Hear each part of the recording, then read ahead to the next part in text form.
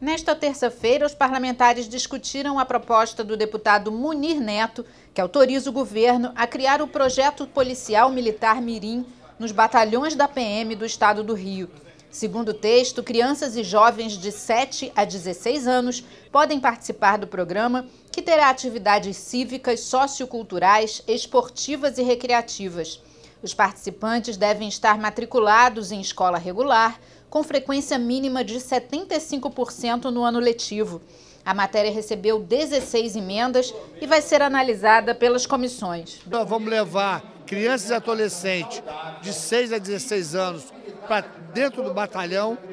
Lá eles vão ter palestras, vão ter treinamentos de segurança, de salvamentos, de trânsito, de meio ambiente, de ecologia, e lá com certeza nós vamos conseguir formar novos líderes, vamos fazer a interligação da corporação com a comunidade, com a família. Então eu acho que é um projeto que só vem a somar para as crianças adolescentes e para a família. As seguradoras de automóveis podem ser proibidas de exigir dos clientes a instalação de rastreadores para fechar os contratos.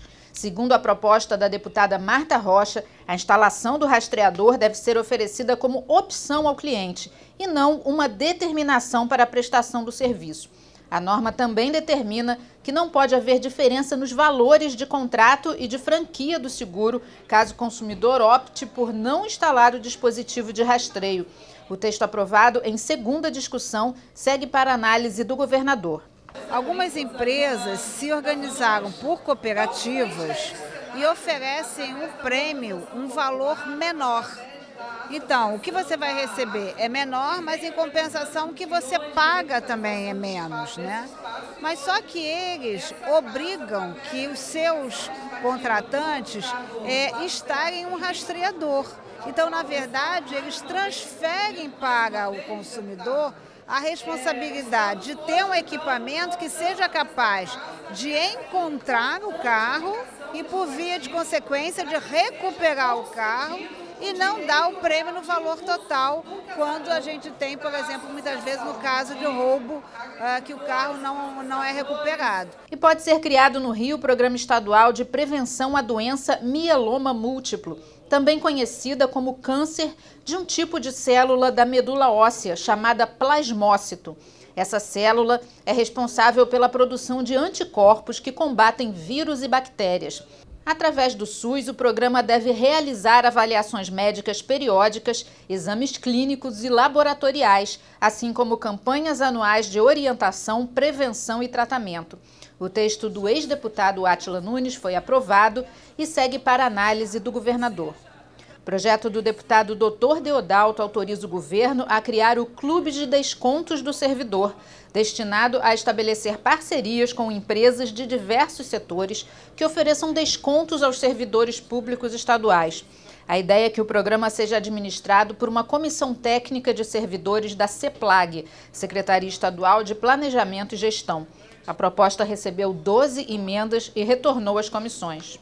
Podem ser proibidas no estado do Rio as operações de fiscalização de trânsito que tenham como objetivo verificar as condições dos veículos quando forem realizadas por agentes não habilitados pelo CONTRAN, Conselho Nacional de Trânsito.